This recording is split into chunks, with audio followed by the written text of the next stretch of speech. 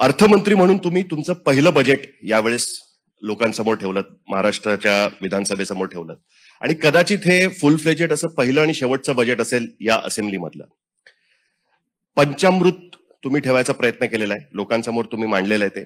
One trillion economy महाराष्ट्राची झाली पाहिजे असं तुम्ही त्याच्यामध्ये हे ठेवलेलं आहे.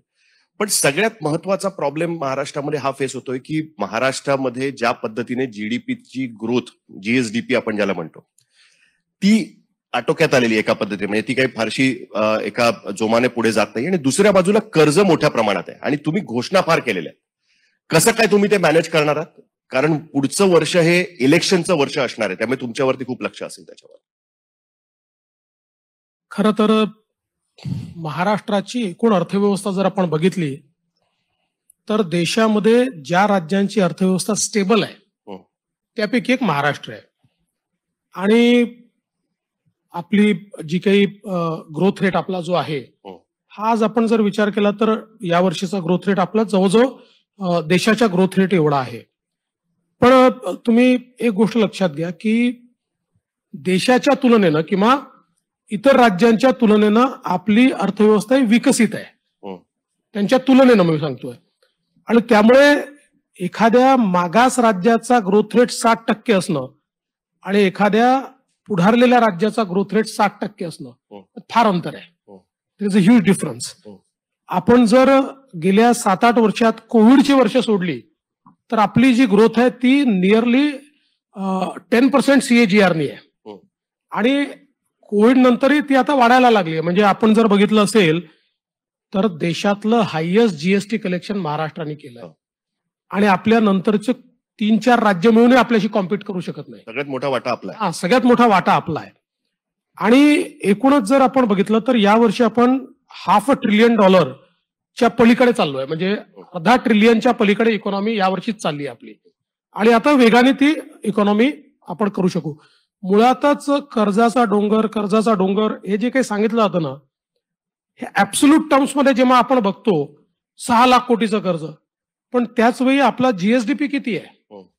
तो जर तेहतीस चौतीस लाख कोटी आहे तो पस्तीस लाख कोटीच्या वर आता चाळीस लाख कोटीकडे चाललाय. हे पंधरा वीस टक्के झालं जवळपास. नाही तर पंधरा टक्के हे तर वेल विदिन लिमिट्स आहेत. म्हणजे साधारणपणे केंद्र सरकारने आणि आरबीआयने घालून दिलेली गाईडलाईन जी आहे ही पंचवीस टक्क्याची आहे.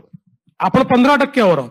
आणि सगळ्यात महत्वाचं एकाही वर्षी महाराष्ट्राने आरबीआयने घालून दिलेल्या गाईडलाईन पेक्षा जास्त कर्ज घेतलेलं नाही. उलट आपल्याला ज्या वर्षी नव्वद हजार कोटीची गाईडलाईन असते त्या वर्षी आपण सत्तर हजार कोटीपर्यंत कर्ज घेतो. हो. त्यामुळे असं मी म्हणणार नाही की खूप चांगली अर्थव्यवस्था आहे पण तुलनेनं ही अतिशय साऊंड अर्थव्यवस्था आहे. आणि म्हणून ज्या घोषणा केलेल्या आहेत असं आहे की आपल्याला कल्पना आहे की मला स्वतःला फायनान्समध्ये इंटरेस्ट आहे बजेट कसं केलं पाहिजे या संदर्भात मी पुस्तक देखील लिहिलेलं आहे कसं वाचलं पाहिजे या संदर्भात पुस्तक लिहिलेलं आहे.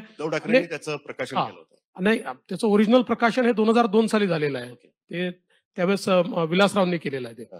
तर मुळातच त्यामुळे सगळ्या पॅरामीटरवर हे बजेट हे. अतिशय योग्य आणि इन्क्लुझिव्ह कसं करता येईल? आज तुम्ही बघा आपल्या बजेटमध्ये शेतकऱ्यांना आपण केंद्र सरकारने सहा हजार दिले तर आपण आता राज्यातर्फे सहा हजार रुपये देतोय. आपण एक रुपयामध्ये पीक विमा देतोय. मागच्या काळात मी मुख्यमंत्री असताना मागेल त्याला शेततळ्याची योजना आणली. लोक म्हणाले कसं शक्य आहे? करून दाखवली आपण. आता मागेल त्याला शेततळं मागेल त्याला ड्रीप मागेल त्याला शेडनेट मागेल त्याला कॉटन श्रेडर अशा आठ वस्तू मागेल शेतकरी जो मागेल त्याला ते आपण देणार आहोत या बजेटच्या माध्यमातून. त्यानंतर आपण आता नैसर्गिक शेती करता मोठ्या प्रमाणात निधी त्यामध्ये ठेवलेला आहे. शेती करता खूप मोठ्या प्रमाणात आपण या तरतुदी केल्यात. शंभर टक्के आपण पूर्ण करू. मागच्याही काळात ज्यावेळेस मी म्हणायचो हे होऊ शकतं लोक म्हणायचे नाही होऊ शकत. मी ते करून दाखवलं.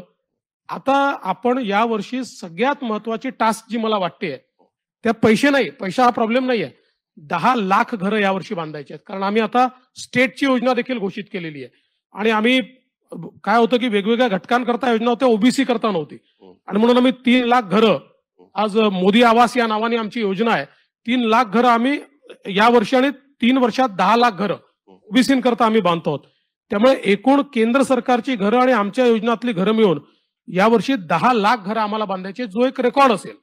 आणि टास्क तो आहे. पैसा हा टास्क नाही आहे मी एक गोष्ट आपल्याला सांगतो महाराष्ट्रामध्ये आता आम्ही इतके इन्फ्रास्ट्रक्चरचे प्रोजेक्ट घेतले आहेत. इरिगेशन मधले एक लाख कोटीचे प्रोजेक्ट आम्ही घेतो. लोक मला विचारतात पैसा येईल कुठनं? मी त्यांना सांगायचो की तुम्ही हाच प्रश्न मला विचारायचे. ज्या समृद्धीचं काम मी हातामध्ये घेतलं होतं लोक म्हणायचे पन्नास हजार कोटी येतील कुठनं? आज त्याचं काम आपण पूर्णत्वास नेलेलं आहे. आणि मी सांगतो दोन वर्षामध्ये म्हणजे शब्द लोकांना समजेल या भाषेत सांगतो की हा समृद्धी महामार्ग विकून आम्ही पन्नास हजार रुपये कमवू आणि सगळं डेट फ्री होऊन जाऊ.